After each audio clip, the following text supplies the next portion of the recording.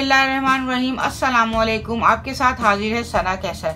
आज मैं आपको बेसन की रोटी बनाना सिखा रही हूँ। इससे पहले कि हम बेसन की रोटी बनाना शुरू करें, जल्दी से मेरे चैनल को लाइक, शेयर और सब्सक्राइब कीजिए। यहाँ मैंने एक कप बेसन लिया है। और आधा कप आटा लिया है। नॉर्मल गेहूँ का आटा। एक गिलास तकरीबन मैंने यहाँ पानी ले लिया है। आपको जितनी ज़रूरत हो, डो बनाने के उसके हिसाब से हम पानी ले लेंगे।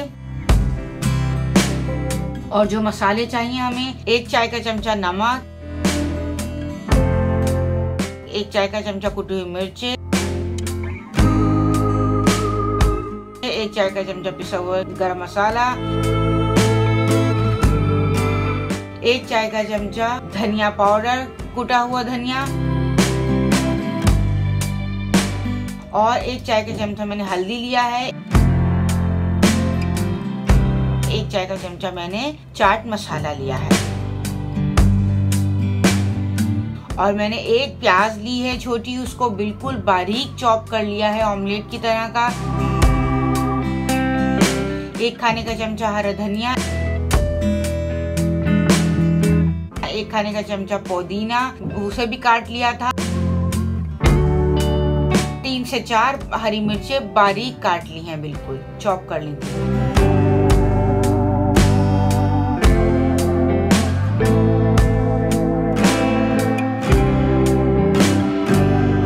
अब हम पहले बेसन और मैदे को मिक्स कर लेते हैं, अच्छी तरह।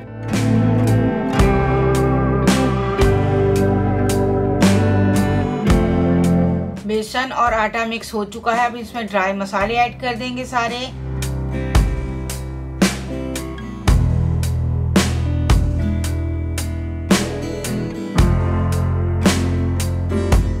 हरे मसाले भी ऐड कर देंगे, प्याज, हरा धनिया, पुदीना और हरी मिर्चें। अब इन सबको, चीज़ों को भी अच्छी तरह मिक्स कर लेंगे।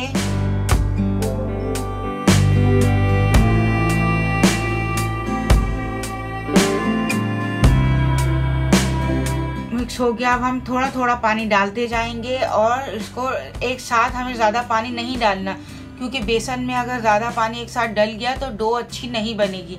बहुत एहतियात से एक एक दो दो चमचे पानी डालते जाएँगे और आटे को गूंदते जाएँगे।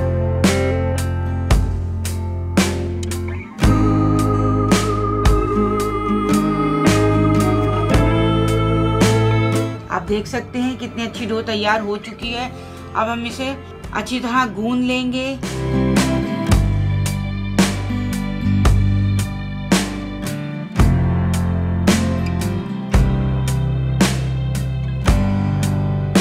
चलें, डो तैयार हो गई है। अब हम इसको रेस्ट देंगे कम से कम 10 मिनट के लिए।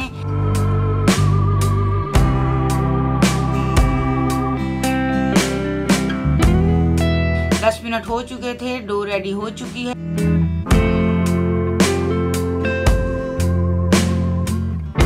हमने आटा डस्ट किया और एक पेड़ा लेकर हमने उसको बेलना शुरू कर दिया।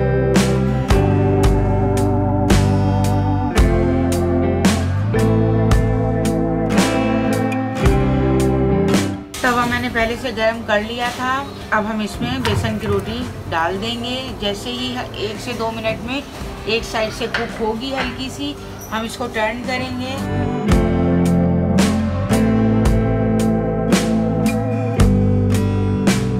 ये देखें, इसी तरह दोबारा इसको टर्न कर देंगे।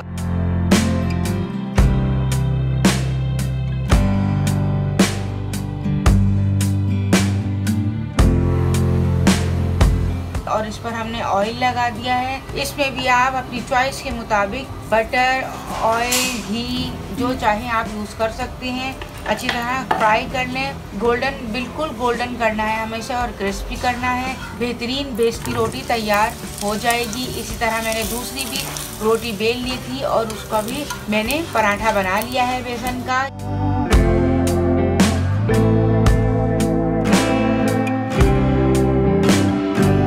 देखें कितनी अच्छी बेसनी रोटी और स्पाइसी तैयार हुई है चटपटी अचार के साथ और तली हुई हरी मिर्चों के साथ इसको सर्व करें, रायता, सलाद जिसके साथ भी आप खाना चाहते हैं। लेकिन ये अचार और हरी मिर्चों के साथ बहुत अच्छी लगती है।